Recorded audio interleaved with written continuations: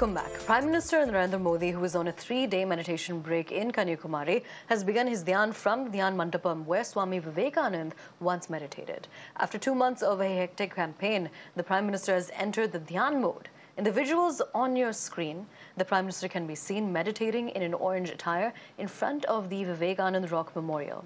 Now, the Prime Minister's meditation in Kanyakumari will conclude on the 1st of June.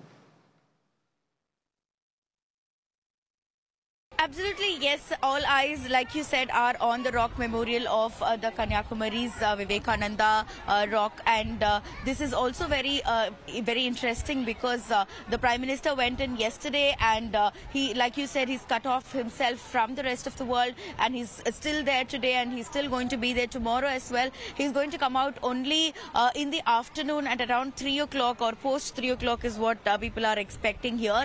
And as far as the security preparation operations are going on here like you can see in uh, uh, the area that is surrounding uh, the rock memorial lots of police officers who are moving and ensuring that people media public no peop nobody is you know be here which is a threat to the security that is being put up here. Barricades everywhere, and uh, police are uh, con continuously patrolling around to ensure that there's uh, maximum uh, safety. And you can see public also, uh, you know, meanwhile enjoying the normalcy of the place. It doesn't look any indifferent from the other days because given the fact that Kanyakumari is a tourist spot, there is not much of a difference from how Kanyakumari is generally is on days when there is no such security uh, necessities.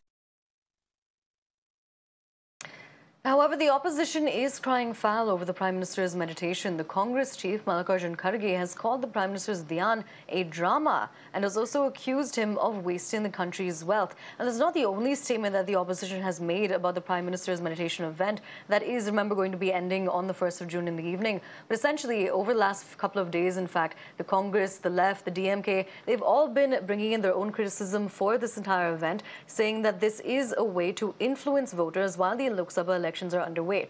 Now remember, what's also important to note here is that the Prime Minister's meditation event at Kanyakumari is going to be concluding in the evening of the 1st of June. That's essentially tomorrow. Tomorrow is also when the last phase of the Lok Sabha elections are going to be taking place. एक धर्म का आदमी तुम्हारे साथ हो सकता है दूसरे धर्म का आदमी तुम्हारे खिलाफ भी हो सकता है इसीलिए ये धर्म के भावनाओं को चुनाव से, वोट से जोड़ना ये गलत है। और इलेक्शन कमीशन खुद ये कही है और उन्होंने खुद कहे हैं, कौन अपने नहीं नहीं, अपने मोदी जी कि ये लाना नहीं, ये नहीं करना, ये सब पहले बोले हैं भाषण में। लेकिन आज वो जाकर गोवा में जाके सॉरी कन्याकुमारी में जाके बैठ के ये जो करने का नाटक कर रहे इससे अब दो हज़ार चार हज़ार कितने पुलिस हो दस हज़ार तक वहाँ पर एम, आ, लोगों को लगा रहे ड्यूटी। कितना देश का पैसा खराब हो रहा है।